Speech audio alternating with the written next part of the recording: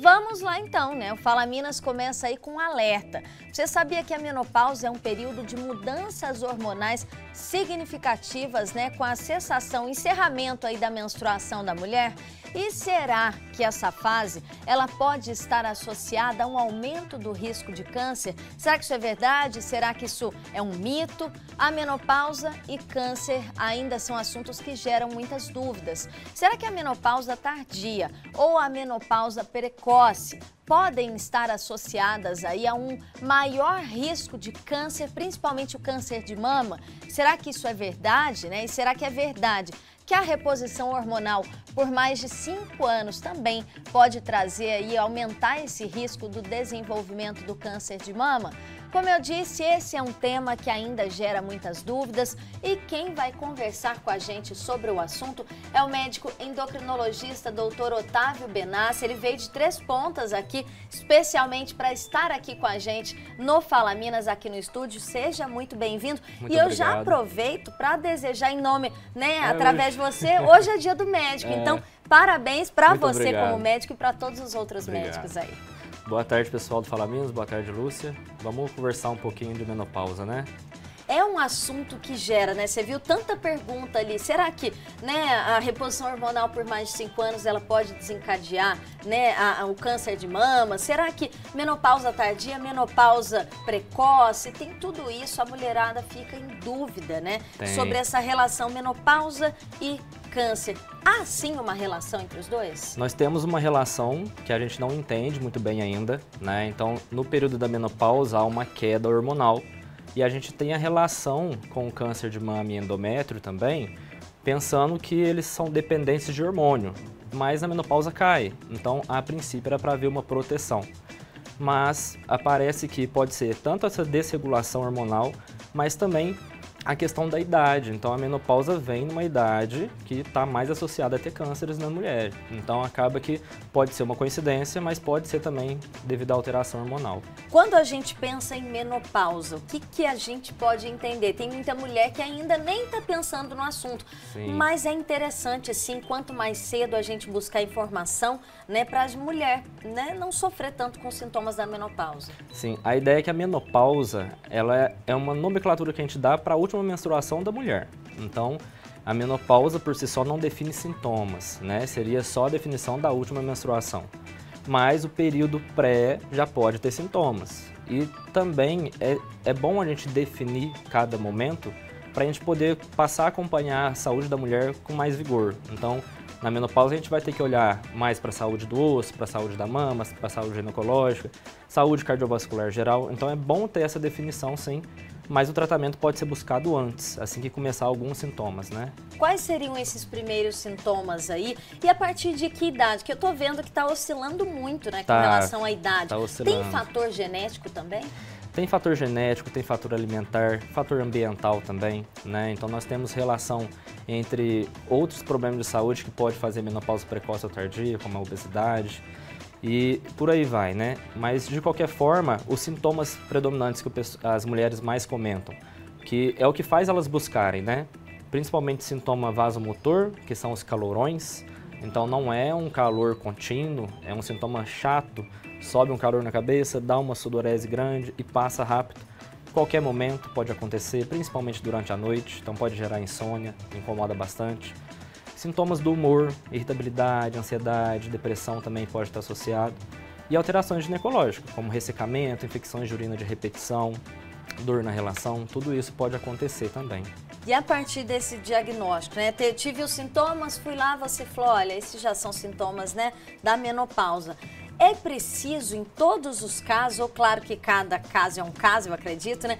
Da reposição hormonal para a mulher ter uma qualidade de vida, né? Assim como antes aí de entrar na menopausa? A princípio, não. Então, não são todas as mulheres que vão precisar. A recomendação hoje, inclusive a gente teve uma organização esse ano muito grande em volta disso da menopausa do tratamento.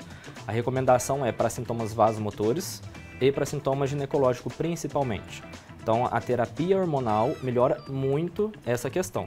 Tanto os calorões, sintomas vasomotor no geral, e também a parte ginecológica, ressecamento vaginal, libido, etc. Os outros sintomas a gente não tem ainda tanta relação entre a terapia hormonal e a melhora geral, como por exemplo sintomas de irritabilidade, ansiedade, depressão. E aí quando a gente né, faz essa comparação ali, né? Menopausa e o câncer, né? Que a gente está em outubro rosa, né? Por isso Importante Sim. sempre. Eu falo que a gente tem que falar do câncer o ano inteiro, né? Mas o Outubro Rosa ele vem para intensificar, né? A gente fala assim do câncer de mama, o câncer do colo do útero, mas ele abre espaço também para a gente trazer assuntos relacionados a qualquer tipo de câncer e a menopausa está entrando aí também nesse mês. Eu quero perguntar para o doutor Otávio se a menopausa, se a mulher que já está na menopausa, quando ela descobre um diagnóstico de câncer, se ela já faz essa reposição hormonal, se ela tem que ter um acompanhamento diferenciado. Sim, a ideia seria mais ou menos assim, para explicar melhor, né? É, quanto mais tempo a mulher passa a ser exposta ao hormônio, maior seria o risco dela ter um câncer dependente do hormônio. É lógico que vários fatores entram em conjunto, né? A vida da mulher, cigarro, obesidade, tudo isso entra em conjunto. Mas pensando só na parte hormonal, seria quanto maior o tempo exposto, mais pode levar. Então, a menopausa tardia, por exemplo, ela tem benefícios, lógico. Então, os hormônios protegem o osso da mulher, protege a saúde do coração, mas em compensação, as mulheres com menopausa tardia podem ter mais cânceres de mama e de endométrio do que as mulheres que têm menopausa precoce.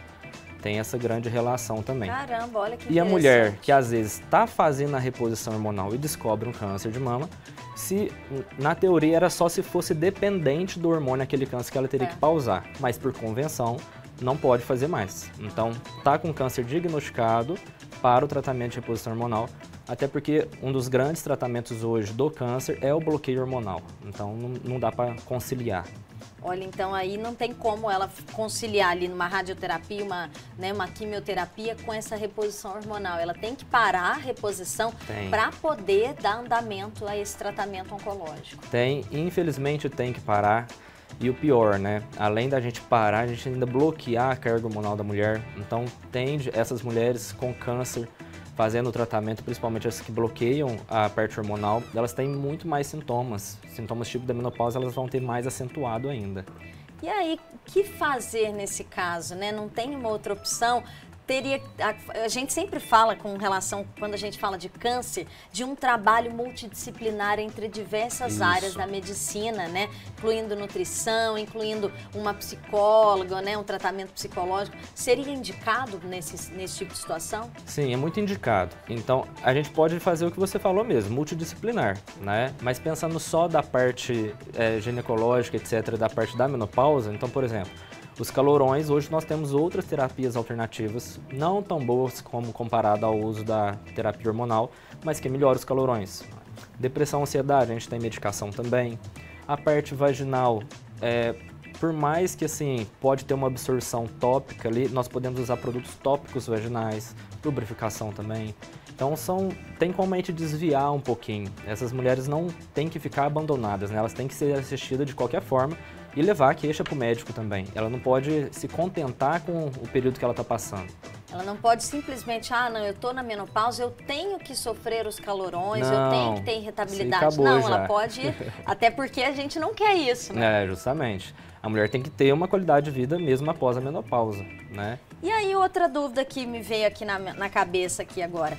Quando que a gente precisa fazer? Existem tipos de, de exames para a gente saber como que está a nossa carga hormonal aí, para a gente avaliar, levar no médico, olha, olha, eu quero fazer um exame para ver como é que estão meus hormônios. Sim. Porque a gente sabe, no meu caso, venho de uma gestação, né? Já, meu menino já tem um ano e meio. Mas sabe que a minha, a minha, minha ginecologista falou que eu tenho até dois anos para os meus hormônios se regularem, Sim. né? Tem algum exame que ele vai detectar? Olha, teu exame, teu hormônio tal, tá alterado. Como que a gente pode melhorar isso para voltar uma qualidade de vida melhor? Tem. Assim, infelizmente, hoje, a volatilidade do hormônio feminino é muito alta durante o ciclo, né? Então, o médico tem que saber analisar isso também. E além disso, os métodos de análise hoje dos exames não são tão bons assim. Então, normalmente, os exames eles não têm capacidade, pelo menos os que a gente tem na nossa região, de captar baixa dose, eles têm capacidade para captar alta dose. Mas tem como a gente ter uma ideia é, de quando que a mulher poderia entrar no período de menopausa, quando que começa a falência ovariana, tem como ter uma ideia boa. Mas, a, a, sim, a gente consegue avaliar também pela família, né? Tende a acompanhar um histórico familiar. Ah, minha mãe entrou com tal idade, então provavelmente entra nessa idade também. Mas o que mais tria a gente não são só os exames. Na menopausa são os sintomas mesmo, né? Regulação do ciclo menstrual começa muito cedo também nesse período. Então a gente consegue ter uma ideia boa em cima disso e não depender só de exames. E aí a mulher acabou de sair lá do consultório, né, e teve esse diagnóstico infeliz do câncer. Seria interessante ela passar por um endocrinologista também para fazer um acompanhamento ali, para poder ver que direção ela vai tomar também, porque a gente sabe que é um diagnóstico que carrega tantas preocupações, tanto medo, né? É importante sim, até porque o endócrino ele consegue abranger o tratamento por outras linhas. Então não deixar aquela mulher passar por tantos sintomas mesmo durante o tratamento do câncer. Então é bem importante, inclusive para acompanhar os outros problemas de saúde que aprofunda na mulher da parte do câncer. Então, por exemplo, a mulher no período que ela tem bastante hormônio, antes da menopausa, ela tem toda a proteção do coração, do osso, etc. Quando a mulher entra na menopausa, diminui bastante essa proteção e a com câncer que bloqueia, aumenta mais ainda o risco. Então a gente consegue triar também, olhar o osso, olhar o coração e por aí vai. E aí, eu quero até te perguntar, né? Menopausa já foi considerada aí, né, um tabu. A mulher Sim. falava, morria de medo, falava até abaixando, ai, tô na menopausa, às vezes até sussurrava para falar que estava na menopausa é perigoso isso, né? Quanto Sim. mais informação a mulher tiver, quanto mais a gente souber sobre a nossa saúde, a saúde da mulher, melhor, né? Com certeza. É, antigamente nós tivemos ruins estudos né, realizados que acabaram, que levou as mulheres a pensarem um lado negativo da menopausa. Mas atualmente a gente tem muito bem definido o que, que é uma indicação para tratar, o que, que é a contraindicação, quem merece e quem não merece o tratamento. Então tem que parar com o tabu, né? E abranger de uma forma mais ampla. Inclusive também as mulheres têm que tomar cuidado com o que acha também na internet, o que acha às vezes até infelizmente de outros profissionais da saúde, porque hoje o tratamento, a direção está muito bem definida. Então a gente não precisa ter um medo, tem que acompanhar. Para a mulher que está acompanhando a gente agora, né? O que, que você diria aí se ela já está sentindo esses sintomas aí? Qual né, a dica que você daria para essas mulheres? É, principalmente procurar ajuda, não passar por essa fase sozinha, né? E lembrar que assim, a gente bate muito em terapia hormonal, mas tem que lembrar do restante também. Então, atividade física, se não começou nessa época da vida, que comece. Uma nutrição bacana, se não começou, comece. É, tratar a saúde mental, procurar de qualquer forma, tratar toda a composição corporal também da mulher. Então, tudo isso é importante no período da menopausa também. Não deixar de lado a saúde, né? A família nessa hora também é muito importante, né? Ter o apoio da, dos familiares, dos amigos também é muito importante. Sim, com certeza. Do marido, dos filhos. É, nesse período, até a mulher começar o tratamento, ou, ou até mesmo até ela ter uma coragem de procurar ajuda, ela vai passar por todos esses momentos, né? Da perda da libido, dos sintomas depressivos ansiosos, da questão dos, dos calorões, dos fogachos, da insônia. Da irritabilidade. Da irritabilidade. Então a família tem que dar um suporte, os vezes, amigos. E às vezes é a própria família ali, o marido principalmente, que, isola, né? que começa a perceber, olha, ela tá muito irritada, olha, de repente sentiu um calorão e às vezes nem tá um dia quente. Então às vezes o marido, o companheiro, as pessoas da família, os filhos, podem começar a notar isso, se ela não percebeu, né? Falam, olha, eu acho melhor você procurar um endocrinologista, procurar um profissional, que seria bem interessante. Então, doutor, muito obrigada. Eu que agradeço. Parabéns mais uma vez pelo Dia do muito Médico. Obrigado. Viu? Uma profissão que eu admiro bastante. Parabéns, viu? Muito obrigado. É, fico aqui à disposição sempre que vocês precisar. Pessoal que não me acompanha ainda, arroba doutor Otávio Benassi lá no Instagram. A gente publica bastante assunto, inclusive semana passada foi uma semana dedicada para menopausa. Não terminamos ainda a semana, mas vamos continuar dedicando ao assunto aí. Legal, tá certinho. Quanto mais informação, melhor. Obrigada, viu, mais Eu uma que vez, agradeço. doutor. Muito...